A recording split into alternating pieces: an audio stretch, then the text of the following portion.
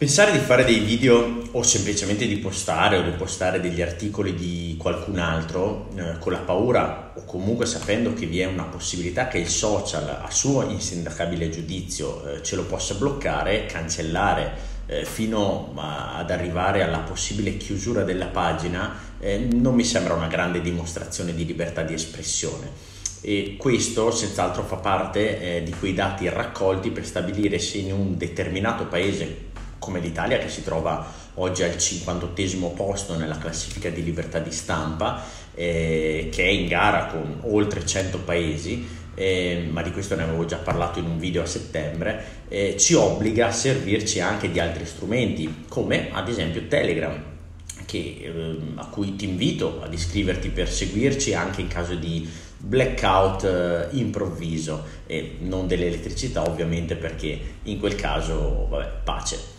E oggi sappiamo per certo che questa pagina viaggia con il freno a mano tirato eh, per le continue segnalazioni di cose che evidentemente a qualcuno eh, non piacciono. Ma tant'è, questa è la libertà eh, d'azione che ci, ci è concessa oggi. Infatti metterò nel primo commento il link al gruppo Telegram, così se vorrai potrai iscriverti, unirti e continuare a seguirci. Eh, oggi vorrei parlarti di eh, un fatto che ho trovato a dir poco allucinante. Un certo Antonio Davino, che io non conoscevo, è presidente della FIMP, eh, cioè la Federazione Italiana Medici Pediatri, e in merito alla situazione dei contagi Covid a scuola ha detto alla DN Kronos Salute attenzione all'arrivo dell'influenza che complicherà le diagnosi da Covid eh, come pediatri da qualche mese siamo impegnati in modo significativo sul fronte della prevenzione e su quello delle vaccinazioni. Ma c'è eh, un nodo. Eh, per far aumentare le immunizzazioni dei bambini occorrerà che aumentino i casi, ovvero che si inneschi un po' di paura nei genitori. Quindi lo scopo è quello di vaccinare tutti innescando paura nei genitori. Poi che faccia bene o faccia male non è evidentemente importante. Eh, nel corso del suo eh, discorso di insediamento per la carica di presidente della FIMP eh, a marzo 2021 ha detto il pediatra di libera scelta gode eh, di un tesoro inestimabile, la fiducia delle famiglie che da 40 anni rimane immutata. Ora capisci bene quanto eh, lui sappia quale forza possa avere per incidere significativamente sulle nuove generazioni è, è aberrante a dir poco direi che dica una cosa di questo genere. Comunque, un'altra notizia che sta circolando è quella che eh, riguarda il canone RAI.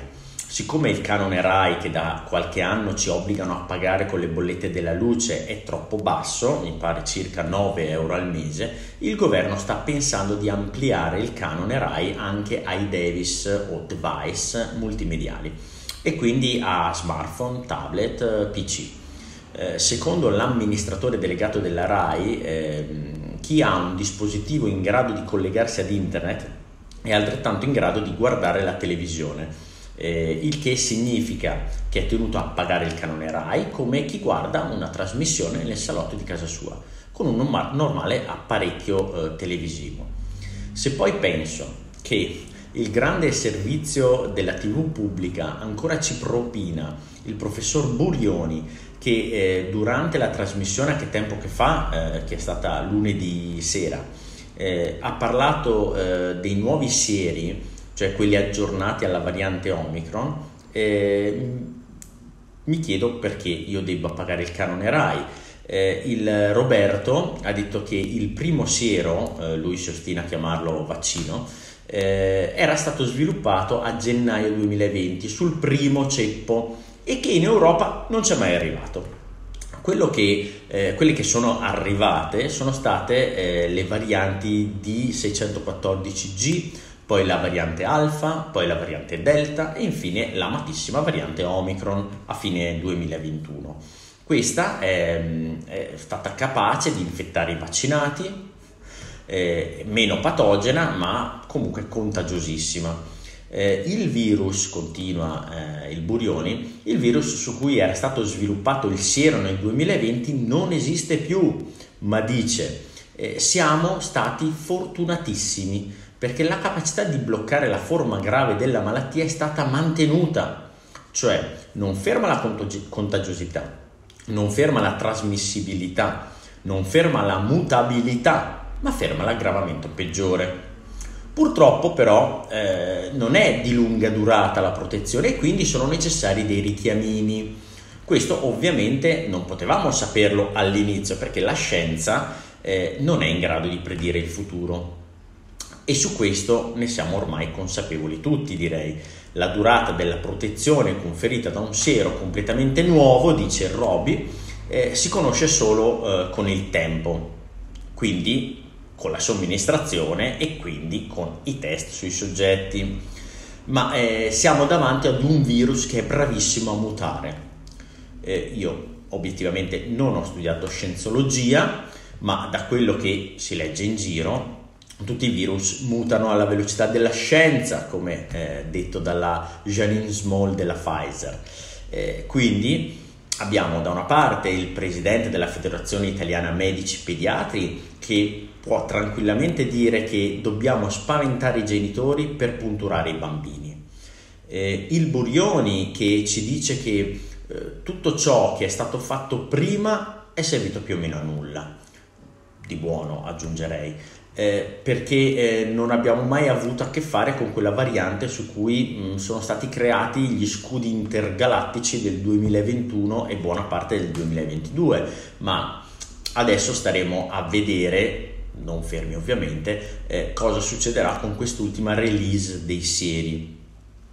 Insomma, eh, questi messaggi probabilmente, non so perché, possono passare indisturbati ed essere condivisi su qualsiasi piattaforma, ma tutto ciò che contraddice non è ammesso.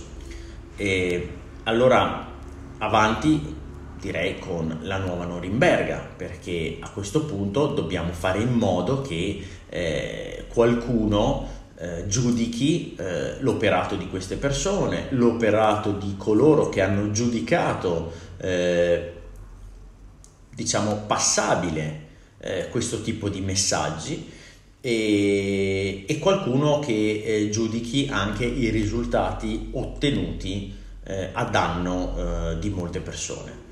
Eh, noi andiamo avanti grazie a Forza del Popolo eh, con tutto il programma per portare sul banco dei testimoni, sul banco dei, mh, mm, degli inquisiti eh, le persone che evidentemente stanno sbagliando eh, e non siamo eh, dell'idea che mh, mm, ci vorrebbero delle scuse per gli errori commessi. Gli errori si pagano, li pago io, li paghi tu, li pagano anche loro. E quindi andiamo avanti. Seguici sul canale Telegram se non vuoi perderti eh, i prossimi video e le prossime notizie.